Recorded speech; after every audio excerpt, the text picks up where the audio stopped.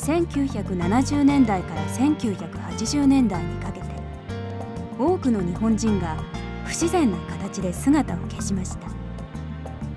それらの中には北朝鮮による拉致の疑いが濃厚な事件が多数あり日本政府は1991年以来機会あるごとに北朝鮮に対して拉致問題を提起してきましたが北朝鮮は長きにわたり拉致などありえないとかくなに否定し続けました。2002年9月17日平壌で開かれた日朝首脳会談で北朝鮮は日本人の拉致を初めて認めて謝罪しました。しかしながら北朝鮮側が伝えてきた内容は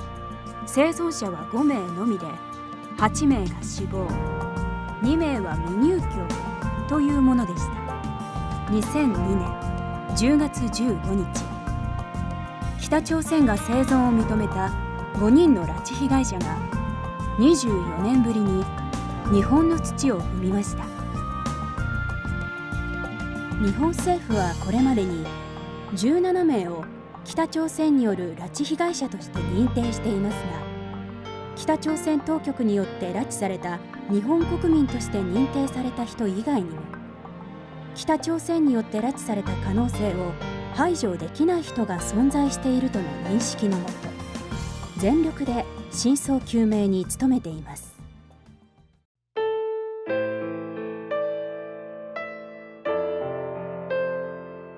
1977年11月15日。新潟市において当時13歳だった横田めぐみさんは下校途中に拉致されました。私の母早紀江は現在87歳です。本日も本シンポジウムに無理をして参加させていただいておりますが体の衰えを隠すことはできません。有本恵子さんのお父様紀弘さんは95歳の中救出を求める声を本日も遠路から参加されて自分の娘さんと会うために必死に行動されていらっしゃいます。どうしても拉致された自分の家族子供と再会したい自由な日本の地に取り戻したいという一心で言葉を武器にして戦っています。北朝鮮の工作員たちが日本の領土に侵入し主権国家から無実の日本人を拉致しているのです。誰かの問題ではなく国民一人一人が試されている人権問題なのです。もし自分自身が一方的な暴力による現状変更つまり工作性の船底の鍵のかかって部屋に閉じ込められて家族との絆を引き下げれたらどう考えるか。皆様の大切なお子様やご家族が暴力的に拉致された挙句に食料も十分な医療の恩恵も享受できない中で50年近く人質として拘束されたと考えたらこのままで良いのかと考えてほしいと思います日本人拉致被害者はですねこの24時間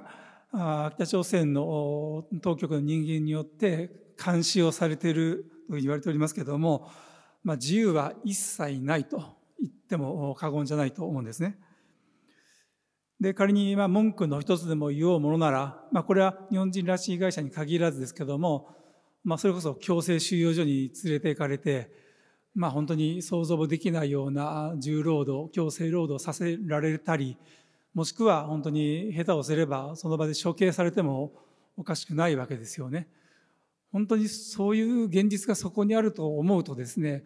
多分私だったら本当に耐えられないんじゃないかなと思うんですよね。だ本当そういうこの環境があるこの現実から一日も早く解放してあげたいと思うわけです。北朝鮮にいるめぐみちゃん元気にしていますか？あなたがいなくなっても42年が過ぎて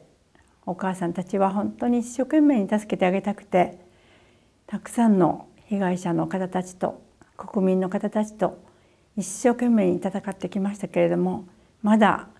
あなたの姿も声も聞くことができません。みんな年がいってしまって力がなくなってきて本当にどこまで頑張ってあげられるのかなとこの頃は本当に寂しい思いでおります。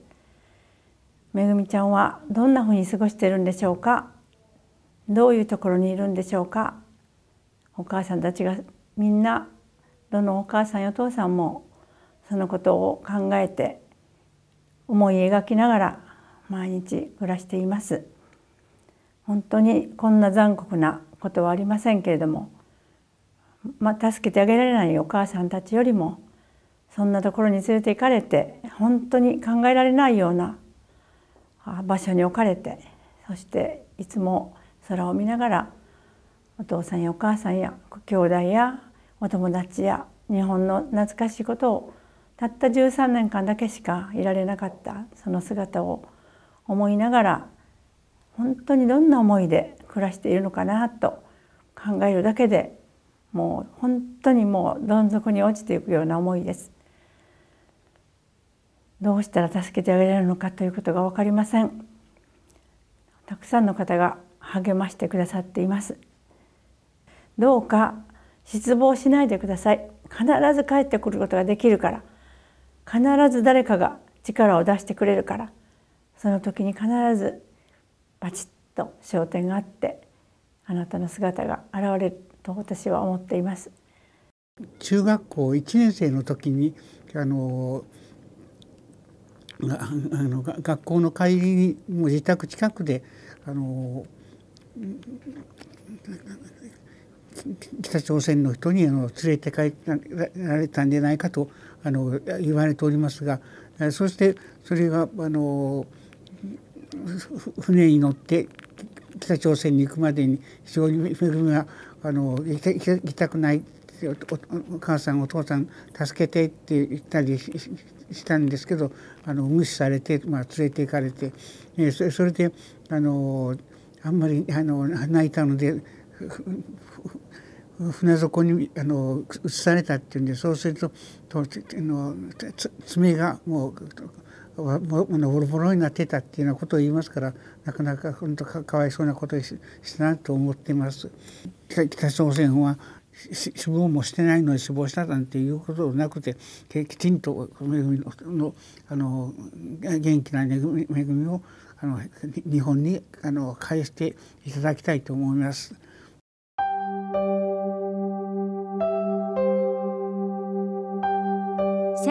1978年6月頃。当時2歳の娘さんと1歳の息子さんを残し22歳だった田口八重子さんは拉致されました。北朝鮮での生活の全容は分かりません。ただあの拉致被害者はただ孤独を感じただ孤独子供を思いただ日本を思い出し暮らしているものと思います。しかもそれが45年という長い期間です。人生の半分以上です。彼女が田口八重子さんが横田めぐみさんがそして拉致被害者が何をしたのでしょうか。ただ被害者の方々はそれぞれ自身がそれなりに懸命に人生を送っていただけです。それが北朝鮮の極悪な理不尽な理由で拉致をされ北朝鮮の地に連れ去られ人生の多くの時間や夢夢や希望も奪われ続けています。そしてそれは今も現在進行形で続いています。ですので一刻も早く北朝鮮の地位より拉致被害者を救出する必要があります。私は田口八重子の3番目の兄の本間勝です。北朝鮮による拉致被害者の皆様新たな年が今年こそふるさと日本に帰ってこれますよ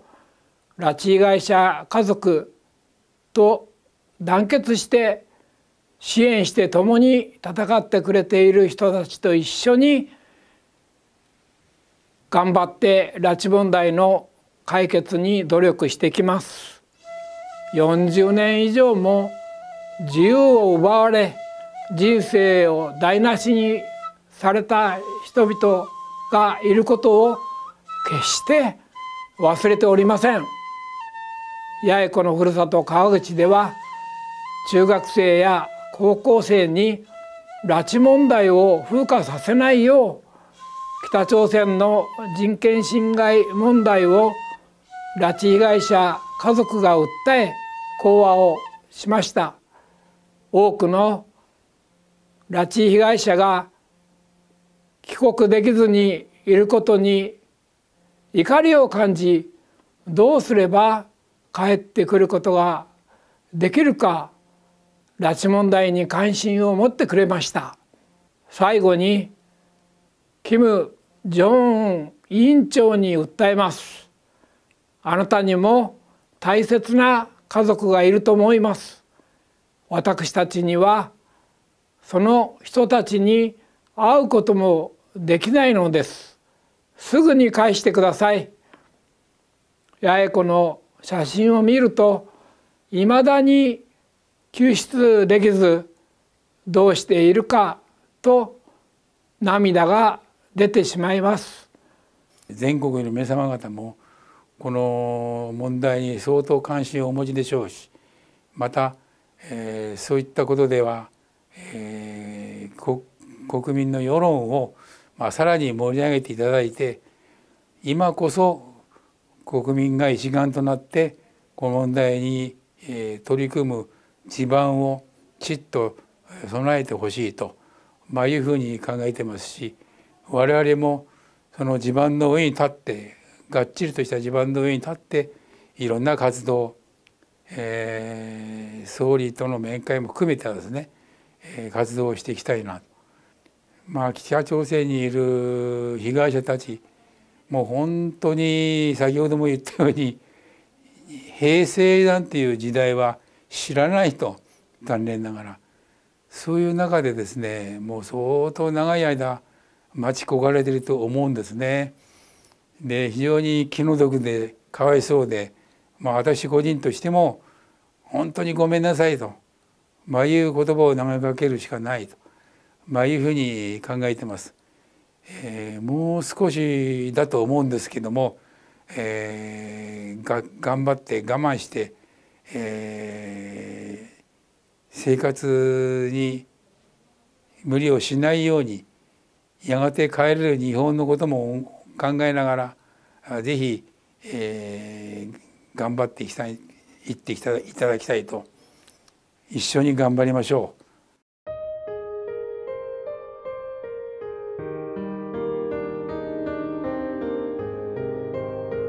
1978年8月12日。当時の新潟県真野町で46歳だった曽我三好さんは娘のひとみさんと一緒に拉致されました。ひとみさんは2002年10月に帰国しましたが三好さんはまだ帰国していません。母ちゃん元気ですか？今どうしてますか？もう母ちゃんと離れ離れになって本当に長い長い時間が過ぎてしまいました。私も今年60になりました。私が60だから母ちゃんが88になっても仕方ないよね。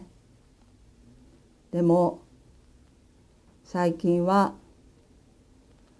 昔小さい頃母ちゃんと一緒にしたこと話したこといっぱいいっぱい考えてます。妹も元気に暮らしています。私もずっと前に結婚してもう子供たちも大きくなってお母さんになった子もいます。なんとか母ちゃんに見てもらいたいといつもいつも思っています。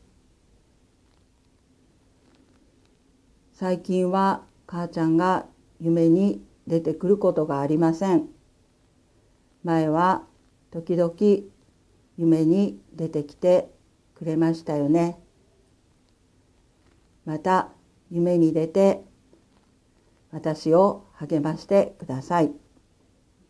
でも夢じゃなくて本当に本物の母ちゃんに会いたいです。私も元気で頑張るので母ちゃんも何にもしなくてもいいからとにかく元気でいてください。そしてみんな佐渡で待ってます。母ちゃんの帰ってくる日をいつまでもいつまでも待ってます。一日も早く帰ってきてください。瞳より。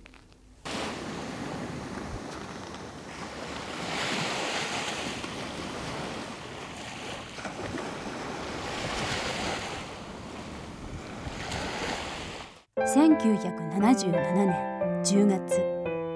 会社員だった松本京子さんは鳥取県で自宅近くの編み物教室へ向かう途中に拉致されました。当時29歳でした。まああの42年も経ちましたけどもまああの42年経ってからなかなかそのあ京子の、えー、話も、えー、あんまり思わしい話が出てこないので、まあ、元気でおるのかあのどんな暮らしをしているのか、えー、まあ家族として、えーまあ、あの親戚同士も、えー、親戚も一堂にみんなが心配しながら、えー、暮らしているこの頃ですが、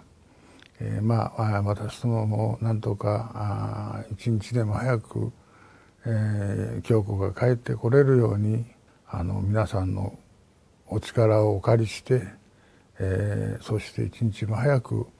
家の兄貴としてえー、まあなんとかあ帰れないものかということを常々あの心には、えー、思っております、えー、国民の皆さんが松本京子が一日も早く帰れるようにと、えー、願っていらっしゃいますから、えー、まあ一日も早く元気なうちに、えー、帰れるようにぜひ家族としても一生懸命え帰れるように国民の皆さんに、え応援をいただけるように頑張っておりますのでぜひ、え体に気をつけて、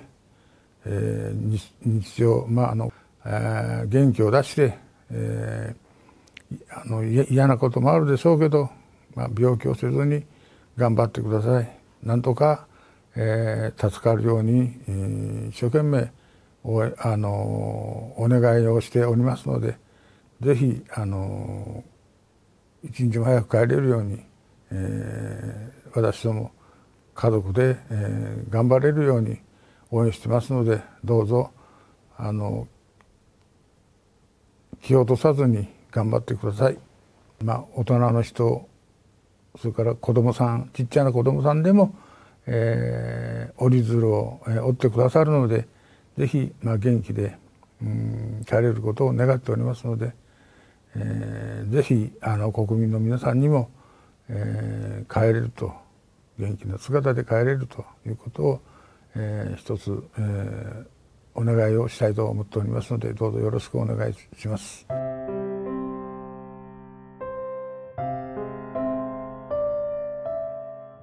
市川修一さんは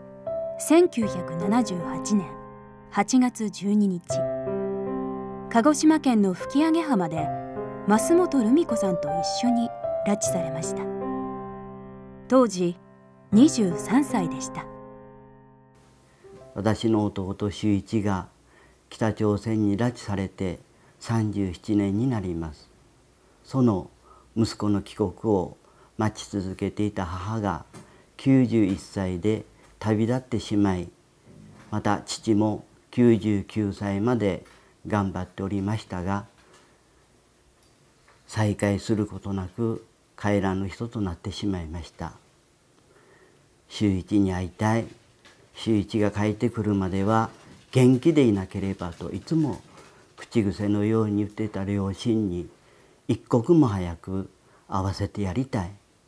胸に抱かせてやりたい。その一年で戦ってまいりましたがその願いを叶えることができなくて本当に悔しくて残念で悔しくてなりません。世論の高まりは北朝鮮北朝鮮に対しても圧力になります。皆様方のお力をどうか私たち家族にお貸しください。あの土源の丘はですねあの小学校あの遠足でよくねあの登ったところなんですよ。あそこに登るといっぱい数字の花が咲いて本当いいところなんですよね。そうね帰ってきたらあそこから一成の町を見せて見せてやりたいですよね。吹上浜海岸から若い2人が忽然といなくなりました。私たち家族は23歳のこの時の顔でストップしたままなんです。今年60になりました。今年こそは今年こそはきっと息子に会えると望み捨てずに春の来るのを待ち続けた母が6年前の11月15日に旅立ってしまいました。母が青い空を見上げながらあの白い雲に乗って周一降りてこないかなとポツンとつぶやいたシーンがあるんですね。その一言が今も私の胸に突き刺さります。大空を見上げて思う愛し子よ雲から降り立ついつの日なりやと母の心情を他に託しました。もし自分がもし自分の家族がこんな目に遭っていたらと思って拉致問題を中止していてください。忘れないでください。お力をお貸しください。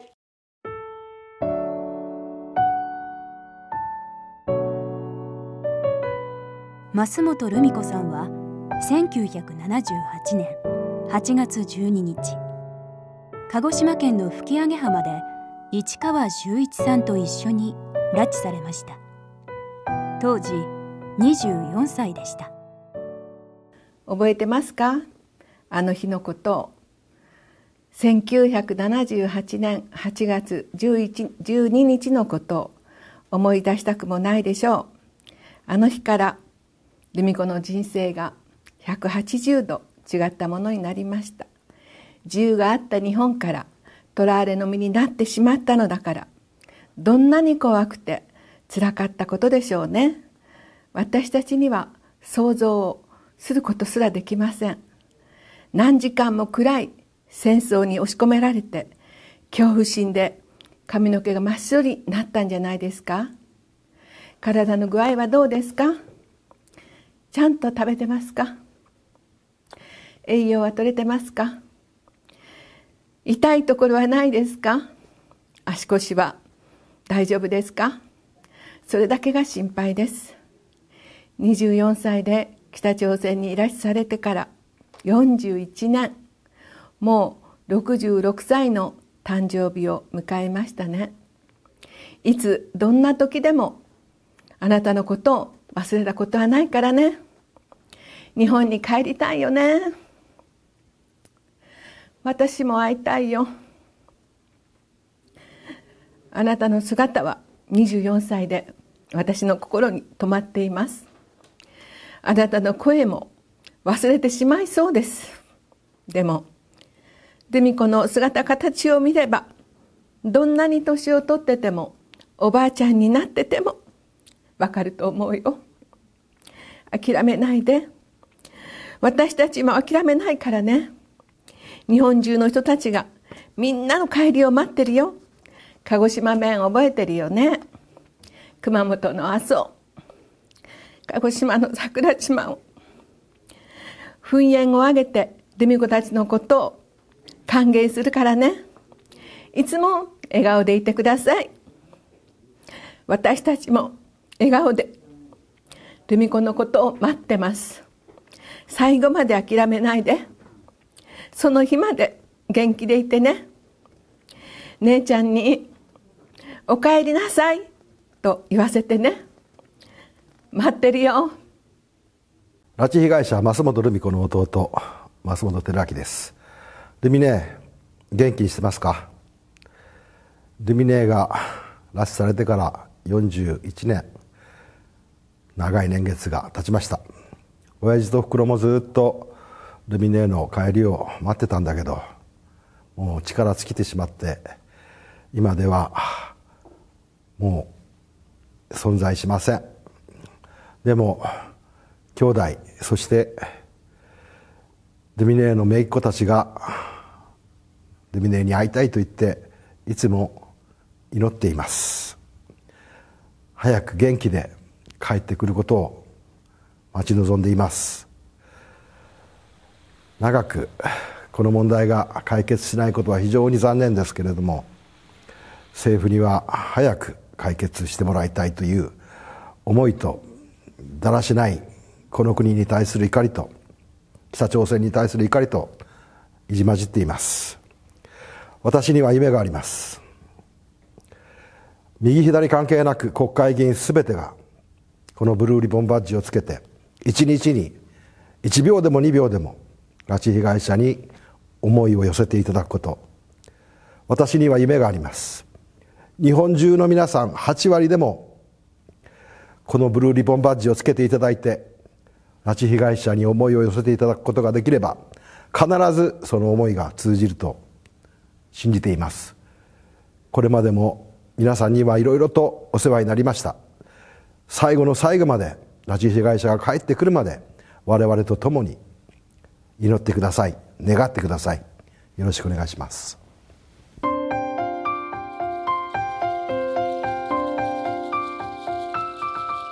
松木薫さんは1980年5月頃ヨーロッパ滞在中に拉致されました。当時26歳で大学院生でした。すごいすごい。いやこんなになっちゃった。あらすごいね。お城がもうな。のこんなに崩れちゃって。修復してるんだ。タオル3年半前に地震でこんなになったんよ。ね素晴らしいお城なのに。修復が18年だってかかるんだってよ。早くね綺麗になるといいね。もう薫元気に早く帰ってきてこれ見てちょうだい。ね一緒に見てな良くなるのを楽しく見ようね。帰ってくるといいな。薫に会いたいね。一緒に来たのに家族でみんなで。いや会いたい。5月は薫たちとみんなで来てたのだからここはもうみんなねなんか懐かしい薫がね横におったらなおいいがねと思ったけど。だからしっかりともうお祈りしてきた。家族が拉致家族帰ってこれます。ちゃんと言ってきた。お願いしとけば絶対願いは叶う。1980年兄が語学を磨くためスペインへ旅立ったのは私が7歳の時でした。あれから早41年の歳月が経過しましたくしくも私の子供も7歳で子供を見ながらしみじみ長いな。結果を出すことができない自分自身が情けなく北朝鮮で日本帰国を夢見ているであろう被害者たち。帰国を望む気力すら失ってしまっている被害者もいるのではないか。胸を締め付けられる思いです。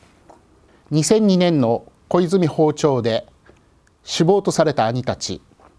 政府認定被害者たちですが北朝鮮側から提出された死亡診断書も信頼に足るものでなく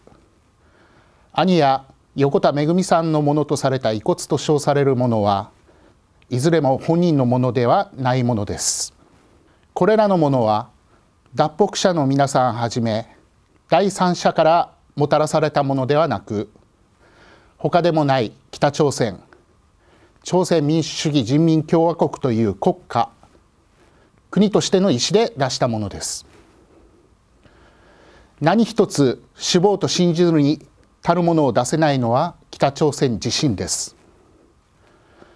他人の遺骨を出したことについて釈明できないのも北朝鮮自身です。私たちは真実を事実を知りたい。ただそれだけです。私たちが求めているのは自分たちの家族を日本に無事に連れ帰ることです。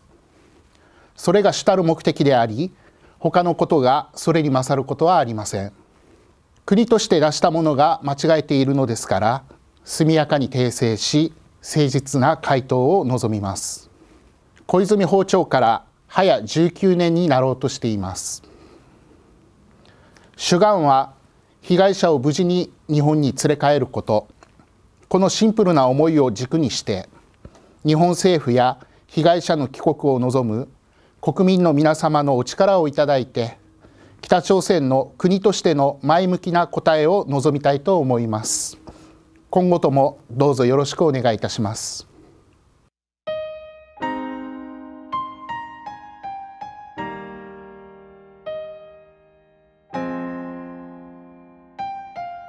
有本恵子さんは1983年7月頃ヨーロッパ滞在中に拉致されました。当時23歳で留学中でした。恵子お父さんの明弘です。私は40年前イギリスからいなくなった恵子が北朝鮮にいると分かってから救出するための運動を続けて35年になります。政府外務省議員の先生たちにもお願いをしてきましたが本当に長い時間が経っても解決することができません。お父さんは今まで稽古を助けてくださいと泣き言を言ったことはありません。稽古一人だけが日本に帰ってきても解決だとは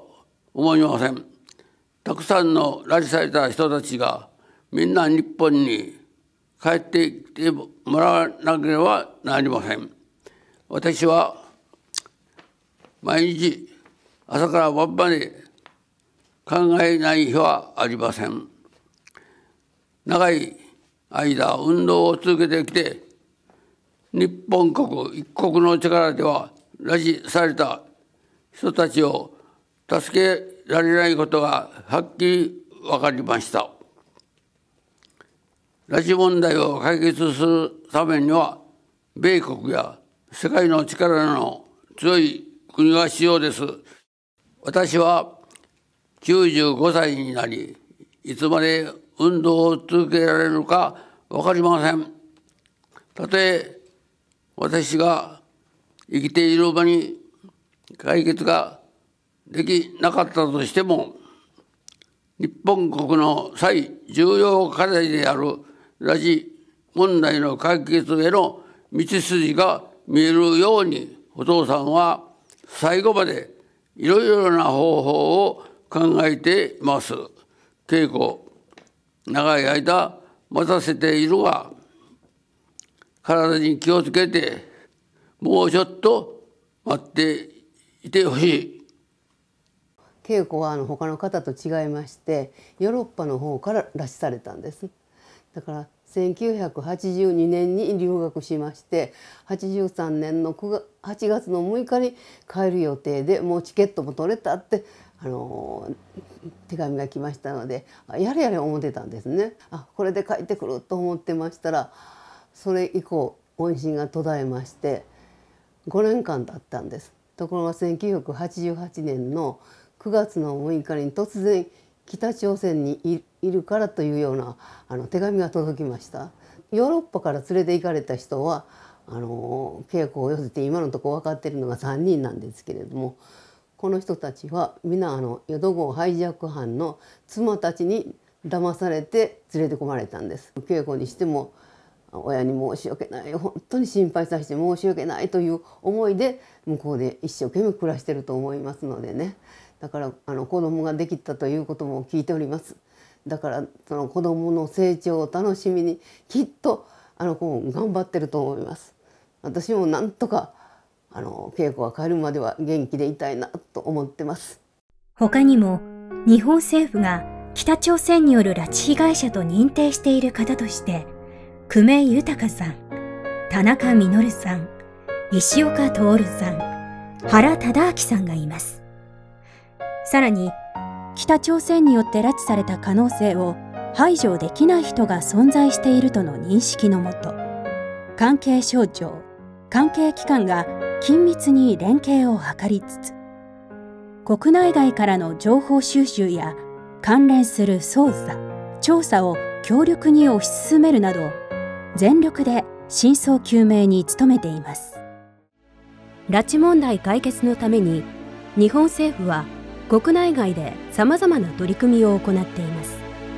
国際社会では2024年1月現在国連において拉致問題への言及も含む北朝鮮人権状況決議が人権理事会では16年連続16回国連総会では19年連続19回採択されています。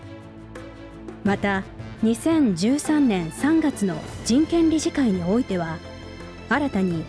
北朝鮮における人権に関する国連調査委員会 COI を設置することを含む決議が無投票で採択され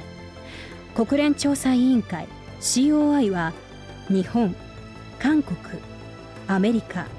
イギリスタイを訪問するなどして拉致問題を含む北朝鮮の人権状況の調査を行い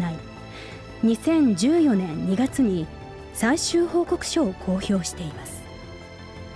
また日本政府は国際社会に向けて政府主催の国際シンポジウムを開催するなど情報発信と連携強化に取り組んでいます。2023年6月には日本アメリカオーストラリア韓国および EU の共催により拉致問題に関するオンライン国連シンポジウムを開催し拉致問題の一刻も早い解決に向けて国際社会の理解と協力を呼びかけています。国内においては2023年12月北朝鮮人権侵害問題啓発週間中に政府主催拉致問題に関するシンポジウムすべての拉致被害者の一日も早い帰国の実現に向けてを開催しました。このシンポジウムでは拉致問題をはじめとする北朝鮮の人権侵害の実態とご家族の苦悩について実際の生の声の訴えが行われたほか朝鮮半島を取り巻く情勢の変化について国際政治安全保障の専門家による講演が行われました。拉致問題は岸田政権の最重要課題でございまして時間的制約のあるひとときも夜がせにできない人道問題であるわけであります。その解決には日本国民が心を一つにしてそしてすべての拉致被害者の一日も早い帰国実現への強い意志を示す。これが重要であると考えております。拉致問題は決して過ぎ去った事件ではなくて今なお被害者が自由を奪われご帰国できない状態が続いている。現在進行形の問題であります。日朝間に存在いたします不信感。これを打ち破って双方にとって明るい未来を描くためには我が国が主体的に動きトップ同士で関係を構築する。これが極めて重要になります。総理直轄のハイレベルで協議を行って早期の首脳会談実現に向けた環境が整備されるように総理の指示の下で政府一丸となって取り組んでまいります。また内閣総理大臣からも拉致問題の解決に向け力強くメッセージを発信しています。私自身我が国自身が主体的に動き、トップ同士の関係を構築していくことが極めて重要であると考えております。私自身、条件をつけずに、いつでも金正恩委員長と直接向き合う決意であると申し上げているゆえんでありますし、全力で行動をしてまいります。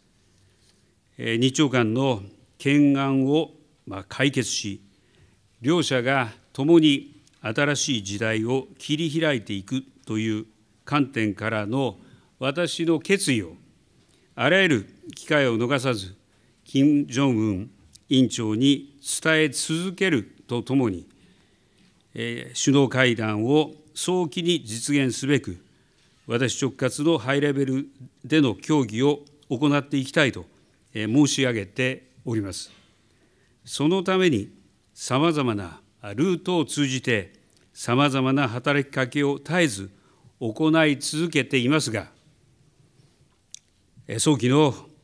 首脳会談実現に向け、働きかけを一層強めてまいります。拉致問題は我が国の主権及び国民の生命と安全に対する重大な侵害です日本政府は拉致問題対策本部を中心として北朝鮮に対し全ての拉致被害者を一刻も早く帰国させるよう強く求めています。